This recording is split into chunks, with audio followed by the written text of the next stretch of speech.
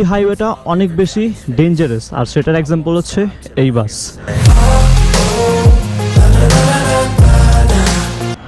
Good morning everyone এখন বাজে হচ্ছে সকাল নয়টা নয়। তো আজকে হচ্ছে বেসিক্যালি ব্লগের মধ্যে কিছু আপডেট দেওয়ার জন্য আসছে। লাইক আজকের ব্লগের ফার্স্ট আপডেটটা হচ্ছে বাইকটার উইন্ডশেল বা ভাইজার সো এই ভাইজারটা কিন্তু হোয়াইট কালার ছিল অ্যান্ড এটা চেঞ্জ হয়ে বর্তমানে আসছে ব্ল্যাকের মধ্যে। সো সেকেন্ড আপডেটটা হচ্ছে বাইকে কিন্তু আমাদের তিন হাজার কিলো রাইড কমপ্লিট হয়ে গেছে।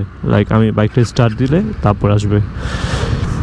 বর্তমানে বাইকটা চলছে হচ্ছে একত্রিশশো ষোলো কিলো। আমরা বলতে পারি, আমাদের বাইকের ইঞ্জিন ফ্রি হওয়ার ক্ষেত্রে যে কিলো রিকোয়ারমেন্ট লাগে তিন থেকে পাঁচ হাজার কিলো সো ওইটার ফার্স্ট রিকোয়ারমেন্ট আমরা কমপ্লিট করে ফেলেছি।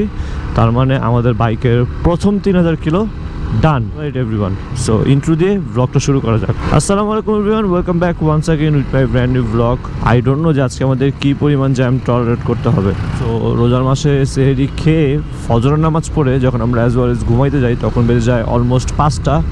আর পাঁচটা বাজে ঘুমানোর পর সকাল আটটা বাজে উঠাটা অনেক বেশি ডিফিকাল্ট হয়ে যায়। বাট কাজ তো কাজই, কাজের বেলা নো এক্সকিউজ অ্যান্ড অনেকে বলতে পারে, এত সকালে আমি কই যাচ্ছি? এক্স্যাক্টলি আজকে আমি যাচ্ছি হচ্ছে সাভারে কজ আমার মেইন চ্যানেলের জন্য একটা ব্লগ শ্যুট করতে। ভাবলাম যে আপনাদের সাথে অনেকদিন হয়ে গেছে কমিউনিকেশন করি না বা অনেকদিন হয়ে গেছে অ্যাকচুয়ালি কমিউনিকেট হই না। সো কিছু আপডেট দিয়ে আপনাদের সাথে কমিউনিকেট করা যাক। অ্যান্ড যদি বলি, সাভারের কথা নিয়ে, এখন ফার্স্ট টাইম আমার লাইফে বাইক কিনেছিলাম দু হাজার সতেরোতে। তখন আমি গিয়েছিলাম আশুলিয়া সাভারে। অ্যান্ড তারপর আজকে প্রায় চার থেকে পাঁচ বছর সাভারের সাইড অ্যাকচুয়ালি আমার কখনোই যাওয়া হয় নাই। তো স্পোর্টস বাইক দিয়ে বা আমার জিএসএক্সের বাইক দিয়ে এই প্রথম আশুলিয়া সাভার যাচ্ছি। সো আমি যেখানে যাচ্ছি সেটা এক্স্যাক্ট লোকেশনটা হচ্ছে ফ্যান্টাস্টিক কিংডমের এখানে। আই যেতে কতক্ষণ লাগে কজ ওই রাস্তার অবস্থা তেমন একটা ভালো না। আজকে যেহেতু বাইশ রমাদান সো ঈদের কিছুদিন বাকি আছে সো রাস্তার মধ্যে প্রচণ্ড পরিমাণ রাশ থাকবে, সেটাই স্বাভাবিক। অ্যাম শিওর ড্যাম শিওর আজকে আমাকে অনেক পরিমাণ রাশ ফেস করতে হবে। গেস ওয়াট এখন আমি কোথায় আছি? এখন আমি আছি ঢাকা শহরের মধ্যে আমার সবচেয়ে ফেভারিট যে ফ্লাইওভার গো ফ্লাইওভারে ওকে সো এটা হচ্ছে এমন একটা রোড যে রোডে আসলে ক্যামেরা অন না করে থাকা যায় না। এটা হচ্ছে আমাদের ন্যাশনাল পার্লামেন্টের যে অফিসিয়াল রোডটা গেছে, সেই রোডটা আর ডান দিকে হচ্ছে জিওতন। মানে এই রোডটা অনেক বেশি সুন্দর লাগে। অ্যান্ড একটা ন্যাচারাল কালার আছে। মানে গ্রিনের মধ্যে রেড রেড ভাব। এইরকম গাছপালা অ্যাকচুয়ালি সব রোডে দেখা যায় না। আর তার মধ্যে এই রোডটা অনেক বেশি নিট অ্যান্ড ক্লিন যার কারণে বাইক রাইড করে অনেক বেশি ভালো লাগে। এই তিন হাজার কিলোর মধ্যে আমি এই পর্যন্ত কয়বার ইঞ্জিন অয়েল চেঞ্জ করছি, এটা অনেক বেশি ইম্পর্টেন্ট কারণ নতুন ইঞ্জিন অয়েল কারণ নতুন ইঞ্জিনে ঘন ঘন ইঞ্জিন অয়েল চেঞ্জ করতে হয়, এটাই স্বাভাবিক। সো বাইক রান করছে অলরেডি একত্রিশশো পঁচিশ কিলো। সো এই তিন হাজার কিলোর মধ্যে ইঞ্জিন অয়েল টোটাল আমার চার থেকে পাঁচবার চেঞ্জ করা হয়েছে। সো কখন কখন চেঞ্জ করছে সেটার একটা আপডেটটা দিয়ে সেটা হচ্ছে, প্রথম চেঞ্জ করছে হচ্ছে তিনশো কিলোতে দেন চেঞ্জ করছে হচ্ছে পাঁচশো কিলোতে দেন আবার চেঞ্জ করছে হচ্ছে এক হাজার কিলোতে। তার মানে প্রথম এক হাজার কিলোতে রাখছে ইঞ্জিন অয়েল তিনটা। অ্যান্ড তারপর পাঁচশো কিলোতে লাগছে হচ্ছে একটা, তার মানে পনেরোশো কিলোতে একটা, চারটা দুই হাজার কিলোতে একটা, পাঁচটা অ্যান্ড দুই হাজারের পর আমি ভরি হচ্ছে semi synthetic so semi synthetic আমাকে বলে দিয়েছে পনেরোশো কিলোমিটার পনেরোশো কিলোমিটার পর্যন্ত রান করবে। সো এইটার জন্য আর আমি এক হাজারের পর যে সেক্সারে কোনো প্যারা নেই, যেহেতু সেমি সিনথেটিক পনেরোশো কিলোমিটার রান হবে। সো ওইভাবে অ্যাকচুয়ালি আমি রান করার ট্রাই করতেছি। সো এটা যখন পঁয়ত্রিশশো হবে পঁয়ত্রিশশো হওয়ার আগেই কিছুদিনের মধ্যে আমি ইঞ্জিন অয়েলটা চেঞ্জ করে ফেলব। So total engine oil gas হচ্ছে তিন হাজার কিলোর মধ্যে পাঁচটা। মানে একটা সময় যাওয়ার পর যখন চার, পাঁচ হাজার কিলোর পরে বাইকটার ইঞ্জিন একদম ছেড়ে দেয় মানে একদম ফ্রি হয়ে যায়, তখন অ্যাকচুয়ালি চারশো পাঁচশোর মধ্যে না লাইক সেমি সেন্থেটিকের মধ্যে আপনি পনেরোশো থেকে ষোলোশো কিলোমিটার মধ্যে ইউজ করতে পারবেন। অ্যান্ড সেন্থেটিক মোবিল যদি ইউজ করেন, তাহলে পঁচিশ থেকে তিন হাজার কিলোর মধ্যে। অলরাইট এভরিওয়ান সো আমরা এখন আসতে হচ্ছে গাবতলিতে। রাস্তার অবস্থা লাইক এমনই ছিল। ও বাই দ্য ওয়ে আমি আমার ফার্স্ট বাইক দিয়ে যখন আসছিলাম, কেন আসছিলাম? সেটার যদি একটু স্টোরি আপনাদের সাথে শেয়ার করতাম। সো আমি যখন ফার্স্ট আমার একটা বাইক নিয়েছিলাম দু হাজার সতেরোতে, আর সেটা হচ্ছে মাত্র তিরিশ হাজার টাকাতে মাত্র তিরিশ হাজার টাকাতে আমি একটা বাইক নিয়েছিলাম। মানে ভাবতে অবাক লাগে রাইট সো বাইকটা ছিল হচ্ছে ওয়ালটন ফিউশন হান্ড্রেড টেন সিসির একটা বাইক যেটা কোনো কাগজপত্র ছিল না ওয়ান টেস্ট অবস্থায় ছিল। সো আমি তখন অ্যাকচুয়ালি বাইকের ব্যাপারে কিছু বুঝতামই না।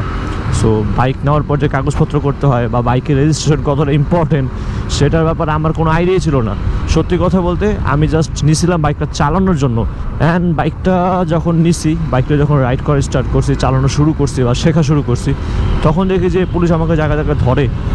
অ্যান্ড তখন অ্যাকচুয়ালি প্রচুর পরিমাণে সার্জেন্ট কম ছিল, যার কারণে দেখা গেছে আমি ওই বাইকটা চালাইছি হচ্ছে দুই বছর। অ্যান্ড দুই বছরের মধ্যে দেখা গেছে আমাকে ধরছে মাত্র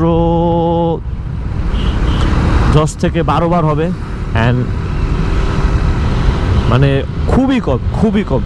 বাট বর্তমানে ঢাকা শহরে যদি আমি ঢাকা থেকে চিটাং যাওয়ার জন্য বের হই সারাদিনে দশ বার, বারো বার একদিনে ধরবে। কারণ এখন বর্তমানে সার্জেন্ট ট্রাফিকরা অনেক বেশি সিরিয়াস হয়ে গিয়েছে। সো যার কাছ থেকে বাইকটা নিয়েছিলাম, সেটা হচ্ছে মোহাম্মদপুরের এক ভাই ছিল। সো ওনারে বললাম, উনি বলল যে শোরুম পেপার নিয়ে আসতে হবে সাভার থেকে গিয়ে কারণ যে শোরুম থেকে বাইকটা কেনা হয়েছিল, সেই শোরুমে সো তারপর গেলাম, তারপর আসলাম হচ্ছে আশুলিয়া সাভারে অ্যান্ড সাভার থেকে আমি শোরুম পেপারটা কালেক্ট করেছিলাম। কালেক্ট করে বিশ হাজার টাকাতে রেজিস্ট্রেশন করছিলাম আমার এখনও স্টিল মনে আছে। সো এই ছিল গতবার দু হাজার সতেরোতে আশুলিয়া সাভার আসার স্টোরি আর এইবার আসতেছি, না, এবারও ঘুরতে যাচ্ছি না কোথাও স্পেশালি এবারও যাচ্ছে হচ্ছে একটা কাজে, সেটা হচ্ছে আমার ফার্স্ট চ্যানেলের জন্য একটা ভিডিও শ্যুট করতে। একটা না ভিডিও ওভার হবে পাঁচটা। সো আমার সারাদিন আজকে মনে হয় এখানে চলে যাবে। ওকে সো আমরা এখন সাভার ঢুকে গেছি অফিসিয়ালি অ্যান্ড আমরা এখন আছি হচ্ছে সাভারের ক্যান্টনমেন্টের সামনে। আই মিন ওই যে সেরানি বাসটা যে রয়েছে, ওটার সামনে। অ্যান্ড সেরানি বাসের পাশে একটা গলফ ক্লাব দেখছি, যেটা যথেষ্ট পরিমাণ সুন্দর ছিল। অ্যান্ড এখান থেকে আমাদের ডেস্টিনেশন আরও মোস্ট প্রবলি পাঁচ থেকে দশ কিলো হবে। এই হচ্ছে সাভার গলফ ক্লাব যথেষ্ট পরিমাণ সুন্দর just amazing wow alright everyone so আমরা চলে আসছি আমাদের ডেস্টিনেশনে, আর এই হচ্ছে আমাদের ফ্যান্টাসি কিংডম পার্ক অ্যান্ড ছোটোবেলায় অনেক বেশি মজা করছিলাম স্পেশালি ওয়াটার পার্কে যে সো এখন ওয়েট করতেছি আমাকে রিসিভ করে দেন আমরা মার্কেটের ভিতরে যেয়ে ভিডিও শ্যুট করা শুরু করব। অলরাইট এভরিওয়ান সো আপনাদের সাথে লাস্ট কথা হয়েছিল আমার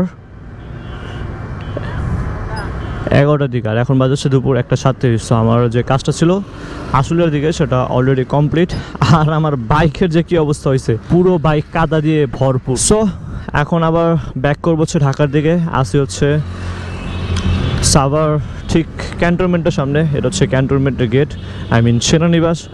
সো চলেন, আর কথা না বের এখান থেকে বের হওয়া যাক। অলমোস্ট দুপুর হয়ে গেছে, আর কথা ছিল যে গ্রাউন্ড ক্লিয়ারেন্স নিয়ে বাইকটা উঁচু জায়গা থেকে উঠছিল, কোথায় যেন এটা আঘাত পাইছে মানে একটা শব্দ আসছে বাট এক্স্যাক্টলি শব্দটা কোথা দিয়ে আসছে, এটা আমি খুঁজেই পাচ্ছি না। এই হাইওয়েটা অনেক বেশি ডেঞ্জারাস আর সেটার এক্সাম্পল হচ্ছে এই bus I was like shit মানে এটা কী দেখলাম?